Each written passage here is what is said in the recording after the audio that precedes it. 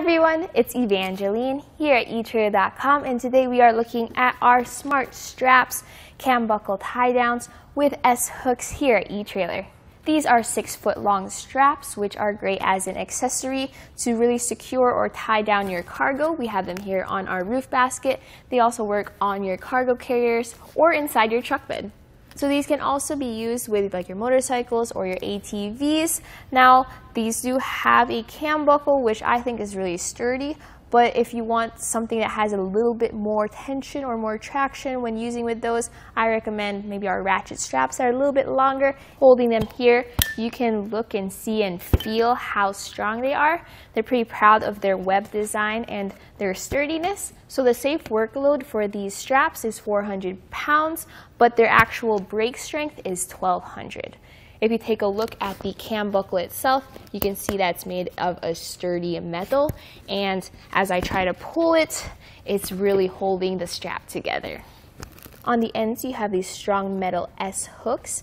Now these S hooks are also lined in order to prevent scuffs and scratches as you use them to tie down or attach to your mounting points. These work on the bars we have here on our roof basket, but they also can hook into the tie downs in like your truck bed. These also work with your hitch-mounted cargo carriers like what we have right here, which is the e-trailer cargo carrier. Now, since they are six feet long, you can see how they stretch from one end to the other. I think they work best as accessory straps just to add a little extra security to your cargo. Now for longer applications like this cargo carrier, I do recommend maybe using a longer strap if you want to use that as your main source of strapping down your cargo. These straps I think work best with like your roof baskets or your smaller applications. Today we're going to be installing these on our roof basket here. This is a MaxxTow roof basket and I recommend picking up something like the Moki doorstep which I have here just to make sure you have that extra stability as you install these straps. On each end of your strap, you have an S hook. What I like to do is start with the end that is not close to the cam buckle. So I just strap that in to whichever tie down point I want to use. And then I leave the other end on the other side to tighten down.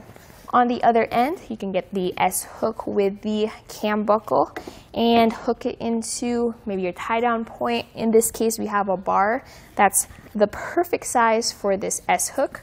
Once that's latched in, you can then tighten it down. What's nice about having a cam buckle is then you just pull it for tension and you can see how it straps into place.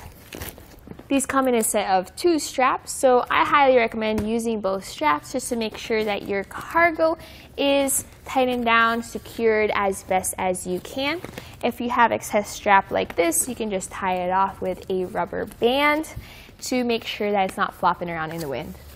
My final thoughts about these straps is that I like how it's easy just to add them to like your roof basket, your cargo carrier, on your motorcycle, whatever you're using to tie cargo down. Now these are affordable options, so it's a nice little accessory and it's very easy to use. You can never have too many straps, in my personal opinion. Now these are six feet long, so that's something to keep in mind. If you have larger applications, you will need a larger strap, as well as if you want to carry something a lot heavier, I highly recommend our ratcheting straps instead. But for something small and very easy to use, these are great straps. And that was a look here at our SmartStraps cam buckle tie downs with S hooks here at eTrailer.com.